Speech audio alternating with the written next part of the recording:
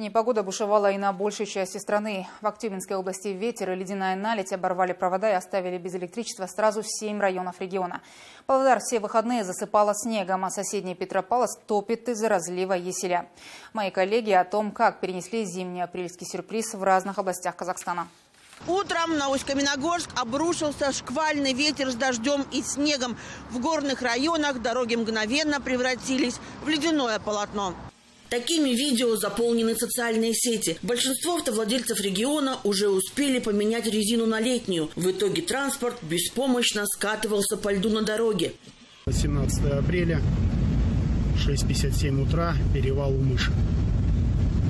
Погода не дает нам расслабиться. Правильно говорят, понедельник день тяжелый. Вот подкидывает она нам сюрпризики. Неприятный сюрприз получили и жители новостройки в Усть-Каменогорске. Вот только что вырвало сайник по ЖК «Самрук», улица, улица Есенберлина.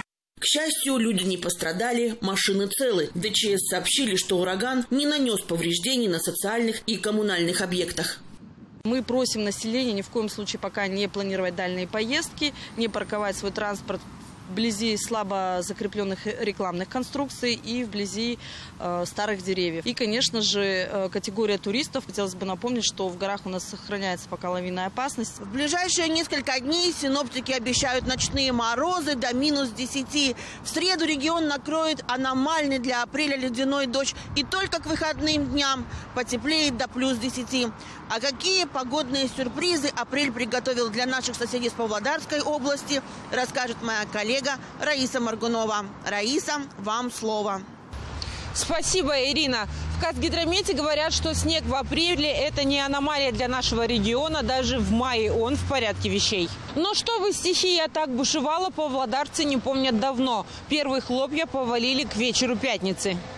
Ну, аномалия какая-то.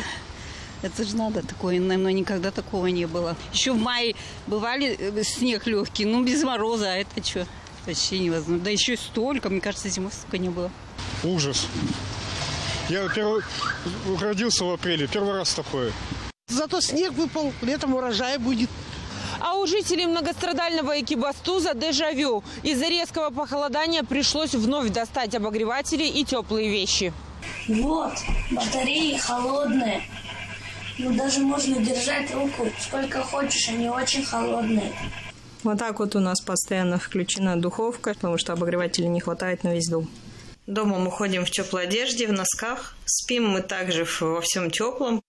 Но на местной ТЭЦ уверяют, что дома и соцобъекты не отключали от теплоснабжения для проведения ремонта тепломагистралей. Говорят, в работе три котла-агрегата. Что касается дорог, большая часть республиканских на выходные была закрыта. Но некоторые водители все же выезжали на трассы. К сожалению, без трагедии не обошлось. Водитель автомашины марки ВАЗ-217-030, двигаясь по автодороге Астана Ерементау-Шидырты на 1207 километре, совершил опрокидывание автомашины в кювет. В результате ДТП 34-летний пассажир от полученных телесных повреждений скончался на месте происшествия. Синоптики обещают, осадки в регионе прекратятся к середине недели. Уже завтра циклон уйдет на юг.